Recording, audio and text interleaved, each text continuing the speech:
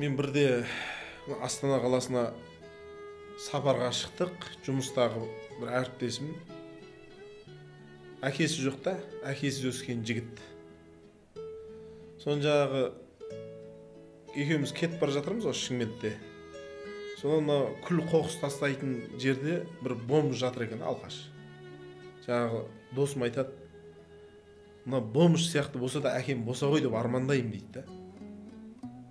Міне шын ә, алла куә осыны естідім денем тұла бойым шымырлап кетті ана сөзден е әкенің қадірін білмейді екенмін ғой мен дедім да егер осындай алқаш болса да бомж болса да шіркін әкем болса ғой деп армандаса бір адам онда мен әкенің қадірін білмейді екенмін дедім.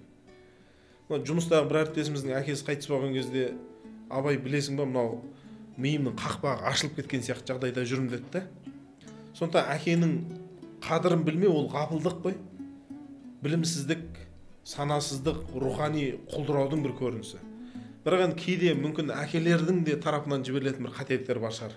Баласымен бірге ішу ә, баласымен бірге бір әдепсіз әңгімелер айту орынсыз қалжыңдарды айту баласына деген сияқты өзінің абыройын қадір қасиетін түсіріп алатын шығар. Оны да жоққа шығаруға болмайды ондай әкелер де бар шығар. Бірақ сондай болса да жаңағы көрдіңіз ғой менің досым не айтып отыр? Әкенің орнын ешкім баса алмайды.